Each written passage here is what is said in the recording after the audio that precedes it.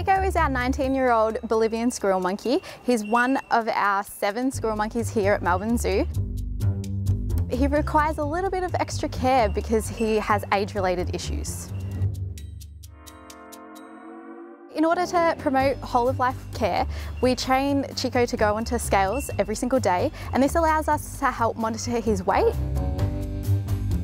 We give Chico his medication every day and night in a little piece of banana